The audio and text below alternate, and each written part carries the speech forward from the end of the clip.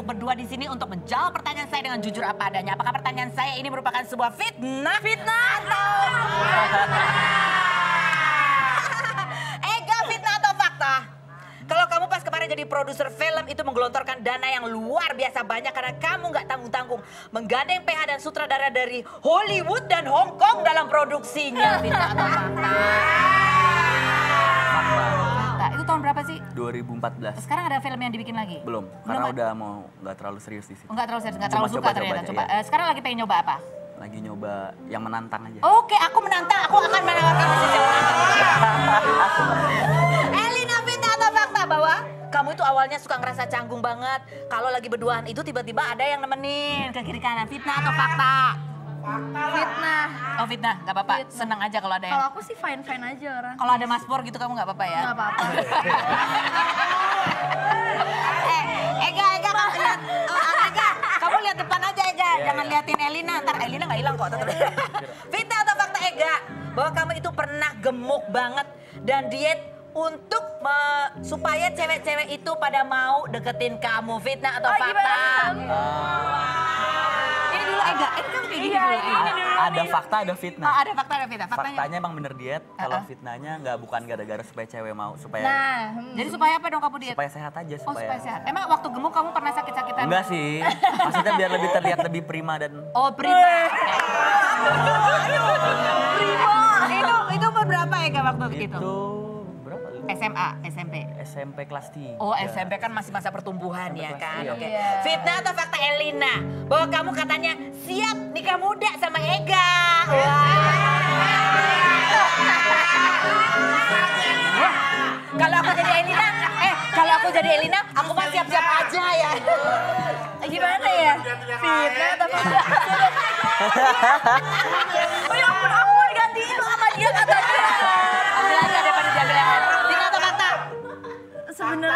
Fitnah atau fakta? fakta. Fakta. Oke. Oke, Tapi nggak ya. sekarang-sekarang juga. Fakta, Oke. Eh, enggak fitnah atau fakta bahwa dulu pernah ada cewek yang deketin kamu hanya semata-mata karena kamu itu royal ke dia, makanya dia deketin kamu. Eh, apakah di sayang-sayang kamu ditinggal sama cewek itu fitnah atau fakta? Em, fakta. Fakta ya. Ada fitnahnya juga sih, karena kan aku ikhlas-ikhlas aja waktu Kamu ikhlas-ikhlas, kamu orangnya ikhlas ya. Eh, kamu deketin dia bukan karena dia royal kan? Enggak, enggak kan aku emang dari hati beneran. Iya. Eh, Ega, kalau aku sih aku deketin kamu karena kamu royal sih emang itu. Elina, fitnah atau fakta kalau Ega itu orangnya posesif apalagi ke mantan kamu ataupun lawan jenis. Fitnah atau? Fakta.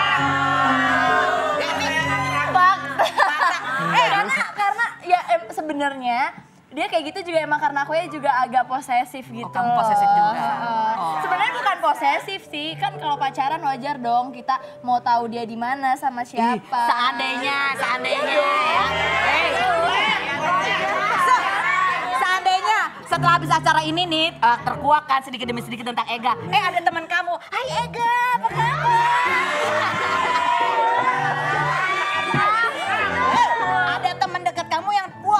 Kenceng ke Ega apa?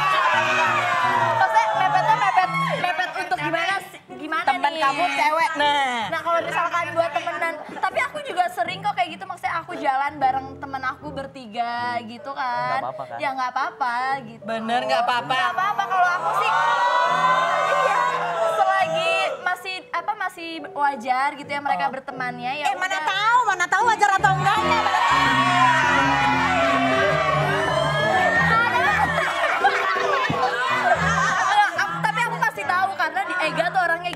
Kalau misalkan dia ngapa-ngapain pasti dia juga bilang sama aku gitu Ega, seberapa serius kamu sama Elina? 1 sampai 10. 10 itu serius banget. Satu tuh A gitu. Eh, lima tuh ya oke penjajakan aja. Tujuh. Delapan setengah, delapan setengah. Uh, delapan setengah. Ega, hafalin ya, aku Kak Ros ya. Iya. Kita berteman ya sekarang. Kalau ada apa-apa tolong diundang.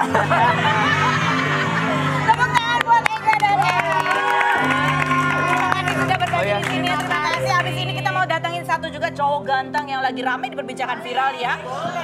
Hmm, Ibunya juga cantik, maka anaknya juga ganteng ya. Siapakah dia? Kita lihat profilnya berikut ini. Kira Wibowo, artis blasteran Jerman dan Jawa kelahiran Berlin 20 Desember 1967 ini mengawali karir keartisannya lewat film Pencuri Cinta di tahun 1989. Kemudian sempat menjadi presenter dan pernah bekerja sebagai humas. Dari pernikahannya dengan Katon Bagaskara pada 28 Oktober 1996, Ira dikaruniai dua anak laki-laki yaitu Andika Radian Bagaskara yang berusia 21 tahun dan Mario Arya Bagaskara yang berusia 17 tahun. Radian yang gemar mengendarai Vespa ini kini mengikuti jejak orang tuanya di dunia hiburan sebagai seorang DJ. Seperti apakah kedekatan Ira dengan Radian? Apakah tanggapan Ira ketika anaknya terjun ke dunia hiburan? Saksikan kisah selengkapnya hanya di Rumpi No Secret.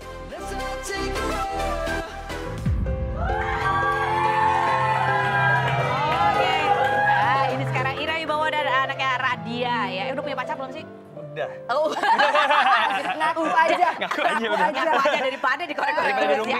Oke, baik. Ini ada notifikasi artikel buat kamu nih. Bunyinya adalah seperti ini. Bunyi artikelnya adalah eh, eh, eh, punya anak bujang tampan Ira Wibowo ditantang dulu-duluan nikah katanya. Oh ini. ini hasil wawancara kamu Ira waktu Wibowo ke sini lagi. di luar itu. ganti kumpengan dulu, ganti nama. Oh, iya. Nah, waktu kamu wawancara di luar ditanya wartawan sekali mau bercanda ya dulu duluan lah sama mama gitu. emang gitu emang aslinya. Itu bercanda atau beneran sih? Bercanda. Oh bercanda ya.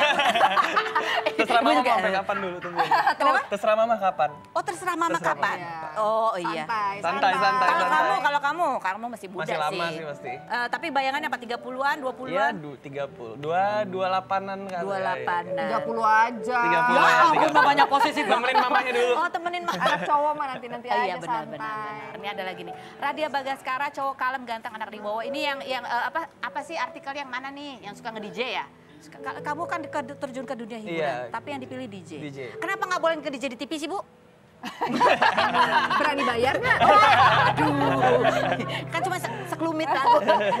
kenapa kenapa ada ini apa? Enggak, takut Enggak. dia malu aja. Kenapa malu? Enggak sih, enggak malu. Cuman ya DJ kan dia di tempat bareng banyak orang. Oh yang ada orang joget-joget, itu alay-alayku siap untuk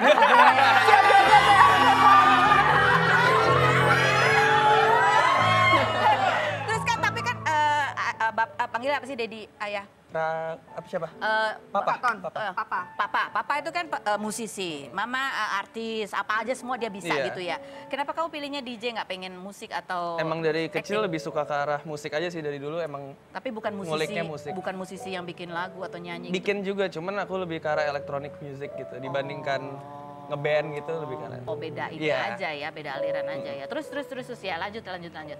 Ke- emang kena, eh, pernah nggak? Tapi kamu pernah diajak syuting sama mama? Pernah.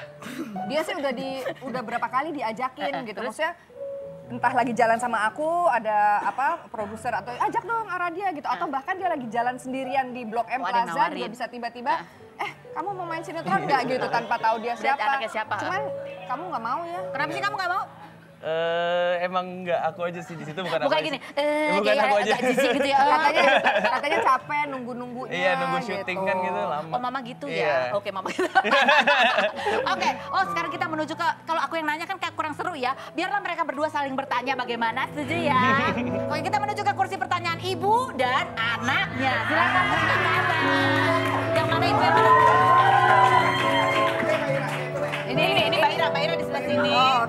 Radia di sebelah situ. Oke, ini pertanyaan. Saling Mbak- bertanya. Saling bertanya ya. Ini pertanyaan. Silakan dipilih apa pertanyaan yang akan ditanyakan kepada Oke. Salah satu. Silakan. Oh, Radia dulu. Oke, pertanyaannya. Silakan. Kalau aku mau berhenti kuliah dan fokus karir nge-DJ, mama akan kasih izin Ya. nggak? Enggak. Enggak. Udah pernah ditanyain. Oh, udah pernah Iya, udah iya. pernah terbesit ide seperti Iya, itu. iya, iya. Emang kuliahnya berapa lama lagi sih? Tinggal setahun lagi sih. Oh, tiga tahun. silakan. Iya, enggak jangan lah gitu. Maksudnya aku izinin dia mau berkarya, mau apa, mau main DJ, tapi sekolahnya juga tetap jalan dulu Oke, dong. cepetan deh ya. Iya, Soalnya tinggal nanti sepuluh kalau lama-lama kayak aku udah tujuh tahun nggak lulus lulus ya. Berikut. Oke. Kamu akan malu kalau mama ngapain. Nah, Mama sering malu-maluin. nah itu. Apa yang, yang membuat kamu, eh, mama tuh kayaknya, aduh mama malu-maluin itu biasanya kalau mama lagi ngapain? Kentut sih. Bener kentutnya.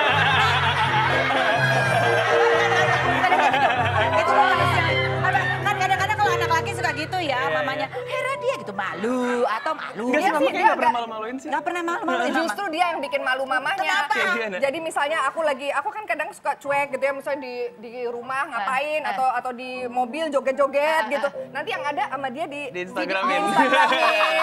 atau atau aku lagi jelek juga nanti di Snapchat ke temennya gitu. Oh, iya, iya, Itu iya, malah dia yang bikin malu. Kamu yang bikin malu Iya, ya. iya, iya, iya. Oke. Eh, eh, tolong dicek ya Snapchatnya Radia ya. Kita lihat nanti eh, Rawi bawa lagi jelek ya apa sih? Ada, Oh, pasti ada. ada. Untung untung cuma bertahan sehari Oh iya. kan. Berikutnya Radia. Mama paling marah kalau aku Nah, Mama paling marah. Ya itu. Oh, itu. Kirim-kirim aku lagi jelek tuh kayak gitu tuh.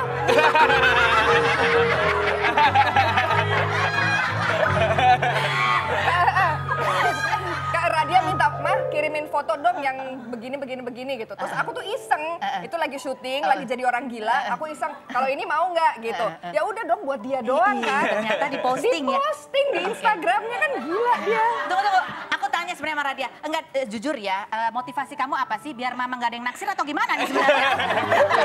lucu aja soalnya. Lucu aja jadi pengen kasih tahu aja kalau semua orang gitu. Bahwa? Mama aku lucu gitu. Oh mama lucu. Oke, baik.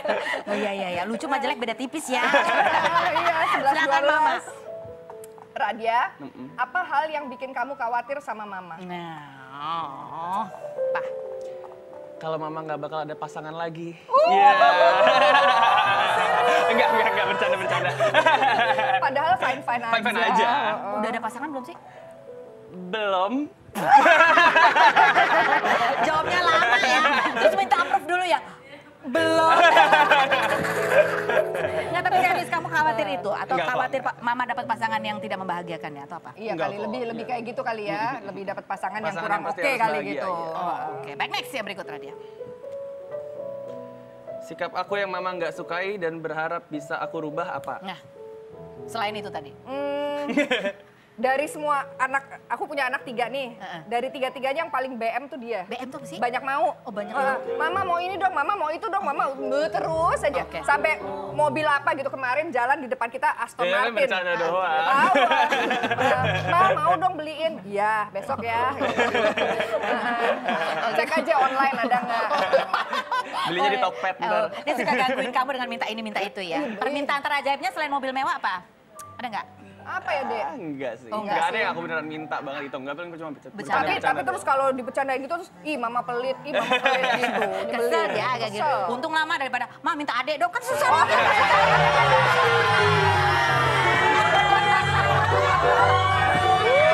ribet. Langsung ribet. eh siapa nih yang nanya nih sekarang? Nanti beli di Carrefour. Oh mama, mama, mama yang tanya mama. Kalau harus menggambarkan sosok mama dalam tiga kata, apa yang kamu pilih? Nah, Awas loh kalau nggak bagus-bagus. apa sih? Aku pulang sendiri jalan kaki. ya. Baik. Baik. Cantik, Cantik. pelit. Oh. Iya, gitu. Bercanda. Serius. Enggak, enggak, enggak. enggak. Aduh. Duh, dia bikin image nggak bener nih. Anaknya pintar banget ya. Diangkat, diangkat, diangkat. Baik, cantik, Baik. bahagia. Oh. Bikin bahagia. Happy, oh bikin, Bikin bahagia. happy. Baiknya kayak gimana sih mama tuh? Kayak mama tuh nggak pernah bikin aku sedih. Kayak maksudnya selalu bikin aku seneng aja gitu. Nggak pernah kayak berantem atau apa. Itu sama mama tuh nggak pernah. Kamu, mama berantemin kamu nggak Mm-mm. pernah. Kalau misalnya kamu lagi salah, mama ngasih taunya gimana? Selalu baik-baik gitu sih. Selalu. Ngomongnya selalu dengan nggak pernah yang Enggak, enggak, enggak pernah. Iya. berdiri di pojokan gitu nggak pernah. Enggak, enggak, enggak. Baiklah. Silakan ada pertanyaan berikutnya. Mama sukanya aku punya temen cewek yang seperti apa? Nah, Pertanyaannya rumpi banget ya. Pertanyaannya sesuai acara. Pertanyaannya sesuai acara ya. mama sukanya cewek yang seperti apa yang dekat sama Ya Raden? kayak sekarang juga mama suka. Iya. ya itu, ya itu, mah ya itu. Ya pokoknya yang kelakuannya manis, Kelakuannya ya kan? manis, nah, terus? sopan, Sopan. terus ya sayang sama Radia. Mah, kalau ternyata cewek yang deketin Radia itu lebih tua jauh dari Radia gimana, Mah? Masih gitu, Mah? Serem gak sih? Serem gak sih kayak gini? "Ah, Lama menjanda benarkah pria yang bersama Ira Wibowo ini kekasih? Wow, ada! Ya, itu ya, itu udah berapa kali acara rumpi Kita nggak punya foto yang baru ya, itu lagi kemarin itu juga udah keluar. Udah basi, ya? basi. Basi ya, basi. 7 Maret 2017 tuh. Iya. Dua tahun yang lalu ya. Eh, sekarang masih yang itu apa udah yang bukan? Ah, nggak tahu deh. Udah di briefing nih kayaknya. Coba pertanyaan terakhir. Oke. Radia, apa yang kamu sebelin dari kebiasaan mama? Selain berikut ini jangan ke mana-mana, tetap di Ruby.